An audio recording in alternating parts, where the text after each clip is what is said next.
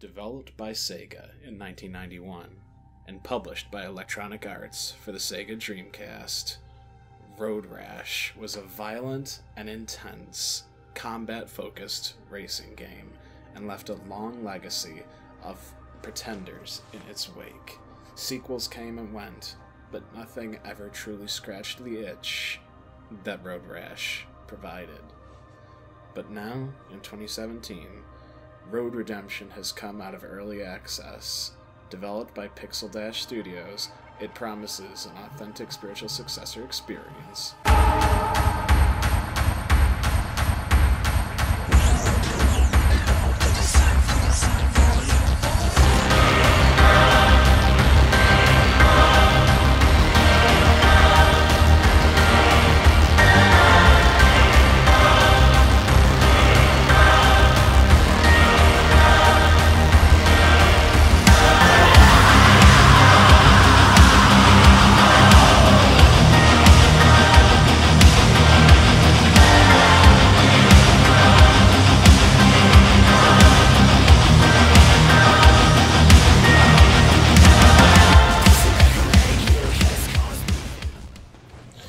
So that's the important question an authentic experience.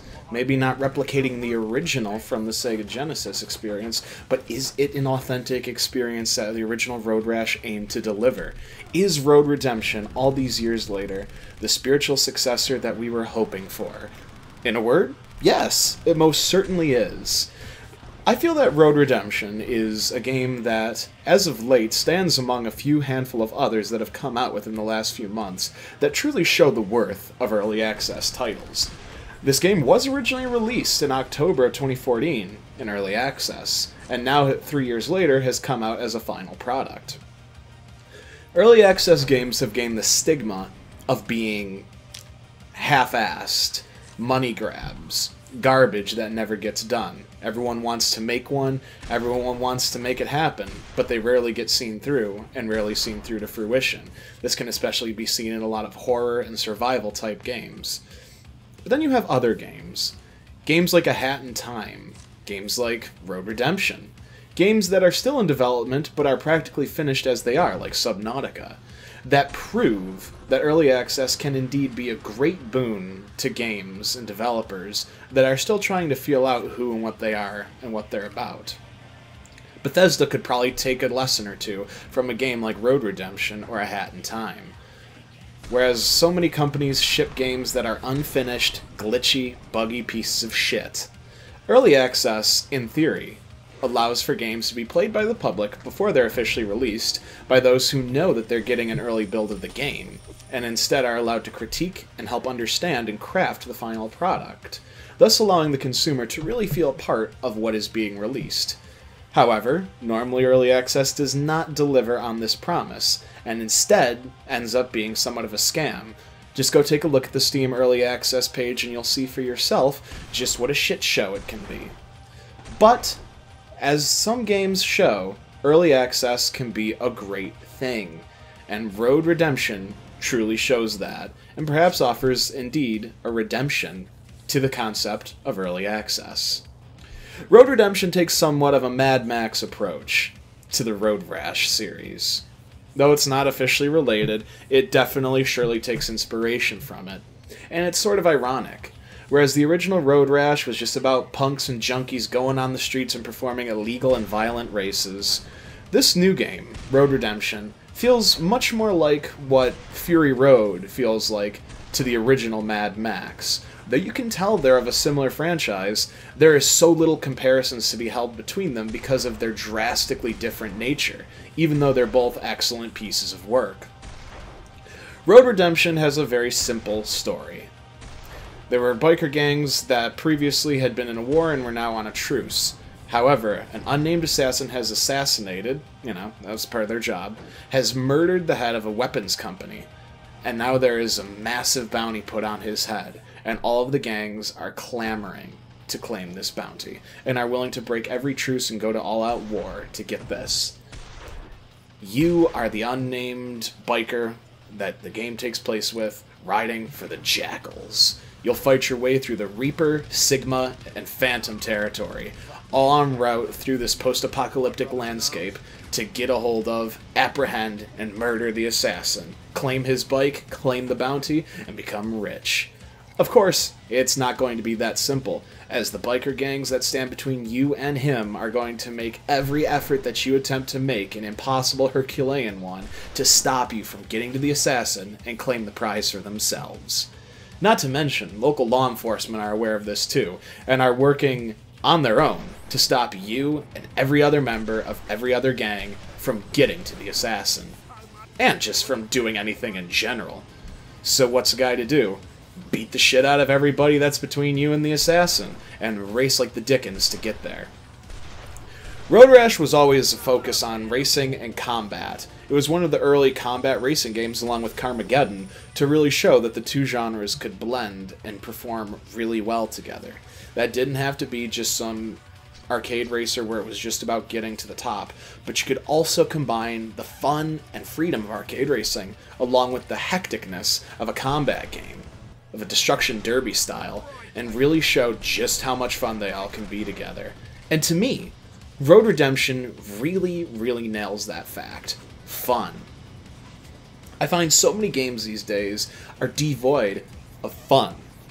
They're distractions, they're entertainment, there's something to do in a way. But games again, I'll keep going back to A Hat in Time, which I'll likely make a video on soon because I love that game as well. Road Redemption and games like that have focused back on the fun. This game is not meant to make billions and billions of dollars. This game isn't meant to fit a mold that so many AAA games will have to do. It's meant to be fun. And though it gets a little repetitive, ultimately, it's one that you will not mind at all, and in fact will enjoy the repetition. Because it's a roguelike. I refuse to say roguelite because I think that is a shitty term based off of a mispronunciation. Road Redemption is indeed a roguelike, and now so many of you will likely hear that title and cringe. I know I would, because oftentimes roguelikes are just attempts to cash in on retro gaming styles and prove themselves to hardcore gamers. But instead, this game takes the concept of roguelike and embraces it and becomes a road-like, as it were. Death is permanent in Road Redemption. Once you die, that's it. Your run is over. You start off in the Reaper territory in the desert, much like the environment seen in Fury Road. You work your way through there through randomized tracks, missions, enemies, weapons drops, etc. You'll be able to notice the way these tracks sort of piece together after a while. Obviously, in a game where randomization happens, you will notice the interconnected pieces as they repeat. Think of a game like Warframe. After you play enough levels of Grineer or otherwise species levels, you'll start to recognize the environments. And the same is true here in Road Redemption. That said, it's not too big of an issue because it's meant to be arcadey. So, the tracks themselves are more of a means to an end. What really matters is the gameplay within them, the interactions with enemies, and some of your allies. This game is fast and furious. Yes, I had to go there. It's brutal, it's unforgiving. With each level that you pass, you'll have experience and money. The experience goes into a bank, and you can't do anything with that until the very end of your run. Money is used at the end of levels to go and purchase upgrades. This could be anything from increased health, increased nitrous, new weapons, weapon upgrades, health restoration, anything of the sort. This is only good for your run. Once you die, all of those upgrades are gone. So if you upgraded your machine gun to an AK-47, which is the max level, well, hope you had fun with that, because whether you win or lose this run, that machine gun AK-47 upgrade will be gone for good until your next run when you unlock it again. However, you gain experience points for just about everything. Unfortunately, there's no stunt experience. You know, there's nothing. You're not going to get anything for pulling off insane tricks or drum or jumps, which is a shame. That said, though, taking out enemies in creative ways, or just killing them in general, will reward you with health, nitrous boost, and experience and I find this greatly encourages high aggression gameplay. Whereas so many games will encourage you to just drive and pass your enemies, This game greatly rewards aggression. I sort of see it as a sort of Bloodborne esque kind of thing in a way. If an enemy hits you and is beating the shit out of you, yeah, you could drive by them, but you're far more better off to go and blow them away in some way, shape, or form. You're not limited to guns. Even though you see me using them in the video here, and this is just because I was recording a run that I was playing for fun, you have a whole bunch of melee weapons, though I find guns to be more effective after a while. You have things like scythes, machetes, swords, katanas, shovels, bats, guitars, yes, guitars, and then as far as the guns go, you have different forms of shotguns, machine guns, rocket launchers, well, more like grenade launchers, sticky bombs, pipe bombs, and the like. Desert Eagle as well. So you have a wide variety of options open to you in combat. And every enemy you kill, you gain money, you gain experience, you gain nitrous, and you gain some health back. So you're encouraged to play aggressive. Yeah, you could complete a race scot free, not touch anyone. And yeah, there's something to be said for the skill in that, but you gain a lot more experience if you mow down everyone in your path. Aggression is greatly encouraged even to the point where my favorite power up in the game, Razor Blade, which deals, I believe, 125% more damage to enemies, but also, and I believe you get more experience, but also deals 50 damage to you. Now, I, I, I'm not sure what it was. I feel like it's, whatever it is, it deals more damage to you as well when you attack. Yeah, it's not when you get attacked. When you attack, you will take damage. But it does such a tremendous amount to make your attacks that much more powerful that really your attacks and the damage you take from them are negligible. In fact, because you'll be able to kill an enemy in one or two hits, the health you gain back will be greater than the health you lost for attacking them, and thus greatly encourages a highly aggressive style of play. When I discovered this, it completely changed the way I played Road Redemption.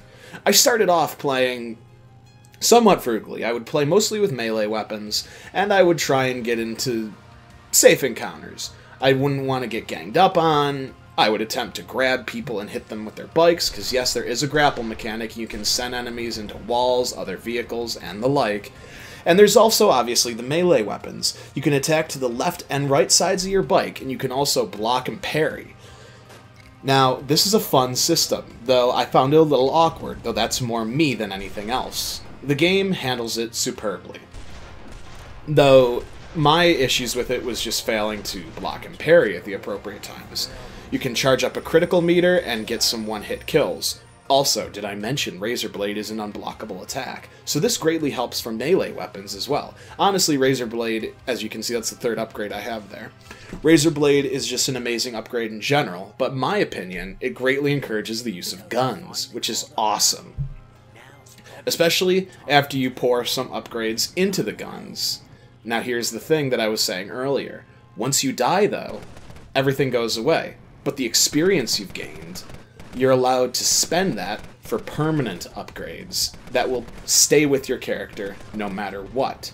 At first, these are things like, once again, health upgrades, nitrous upgrades, experience boosters that'll get you, say, 12% more experience, money boosts, and things like that. But after a while, it'll come down to you being able to start at level 3, for instance, instead of from the beginning, so that using the road-like progression system, you don't have to start from the beginning every time.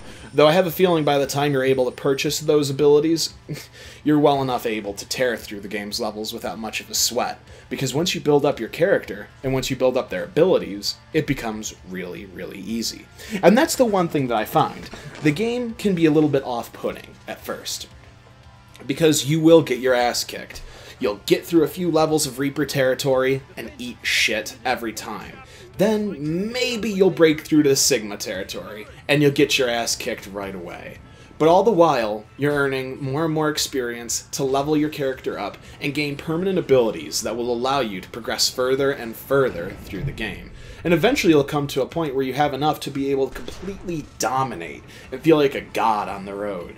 This is how I imagine someone like Mad Max must feel it is an intense and fun ride after you breach that threshold of ability versus what the enemies can throw at you. And if that becomes too easy, which it will happen after a while, campaign campaign plus is what you're looking for. Harder enemies, more randomization, more experience, more money, and more balls to the wall action.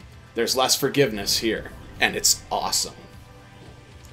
Eventually, you'll get to the point where you'll get past those normal upgrades. You'll be able to unlock bikes and other things, but you'll also be able to unlock things where you can start with a certain weapon. Normally, you'll start off with a weapon like a pipe or a scythe, but you'll get to a point where you could start with guns. You'll get to a point where you can start with already upgraded guns. Using the upgrades, you can increase your ammo capacity. These are things that will allow you to become more and more powerful from the outset instead of working your way up through money upgrades, but you can start right away with the experience ones. As such, the game grows more and more easy the more you play, which unfortunately is a shame after a while. At first, it's awesome, because you really feel like you're gaining ground and becoming someone special. You're becoming a hell of a warrior. But then you come to a point where it just feels like you're not going anywhere and just becoming more and more powerful and have to try less and less. And this is kind of a bad thing, but at the same time, it's not. Hear me out. Basically, I think that though the challenge fades after a while, the fun certainly doesn't. Though this is a game that does grow repetitive after a time, it offers a great deal of replay value. And the fun doesn't necessarily wane in the th- in a, in a linear way. When you do become more powerful, that is when the game's greater difficulty opens up to you. With the different characters that you will unlock throughout the play of the game, a lot of them have different mutators set to them, and that really changed the way you're going to be playing. I'm playing as a military character here. He has higher health, higher armor, and higher abilities with nitrous. He is encouraged to be aggressive as fuck. But there's other characters, like Santa Claus, for instance. Yeah, you can play as Santa Claus, where his one weapon is a candy cane. He can't use guns, and he's a pacifist. He can't attack anyone else. He can only attack bosses, because those are necessary enemies to kill. You have to kill the gang leaders in their designated duel levels. But everything else, he can't do anything about. So you have to play through the game dodging and evading everyone and actually racing and playing in a much different way. And this is a lot harder. So though the normal game itself might become a little repetitive if you're just playing a normal character and just playing it as is, if you choose to take that challenge and play as a different character, then you'll notice a completely different feeling experience. Oh, and you keep your upgrades too. So even though Santa Claus is a total pacifist, you'll still have the ability to have increased health or greater nitrous. There's some characters that have permanent nitrous on, which means you cannot stop going turbo. Some, you're damaged when you're not speeding up. Some, you're damaged when you are. This really encourages you to experiment with different gameplay styles, and in fact forces you to. You may find these more fun than the normal straightforward ones, so I say the game is repetitive if you choose to let it be. But if you choose to experiment with the other characters, and in doing so, you'll unlock more characters and more bikes, and thus gain more experience, you will be able to have a great replayable experience. So, ultimately, I find this game to be a great amount of fun. It is just what it is and makes no qualms about it. It's an arcade shooter, racer, combat racing game, however you'd like to say it. It's fun, it's funny, it's crude, and it's violent, and it's intense. I highly recommend you give it a go. Stick with it throughout the early parts where you're getting your ass kicked, and find to the point where you get a rhythm. And though I prefer guns and really work on a very cannibalistic run where I will hit the nitrous and just keep gunning people down as I play, get more nitrous, get more health, and literally destroy my enemies to provide for my fuel tanks, while I'm doing that, while I'm hitting the turbo, killing them on turbo so it doesn't run out, it provides a super exhilarating and fun experience, which I highly recommend go ahead and check this game out. Give Pixel Dash some love. Not to mention, from a creator standpoint, I really appreciate the opening screen to this game. It says attention to YouTubers and streamers. We give you full permission to make videos that are monetized of this game. Just turn down the music in game because they're licensed tracks and we don't want you to get content ID'd. Wow. That is awesome. So many developers these days may want that, some may not give a fuck, but not many will go out of their way to be like, hey, we know these things happen. and we want you to be able to take advantage of the good parts of it because we can both gain from this. Of course, Let's Players and streamers can totally help the life of a game, but just as well, the platforms they happen on can lead to difficulties. So the fact that they give us a heads up and give us full permission in written text form is awesome. Shout out to them for making an amazing game, and it's just something that's super fun and highly replayable and highly worth your time. I can't recommend it enough. Check it out, and I don't think you'll be disappointed. This is Sora signing off, and I hope to see you guys later. Peace.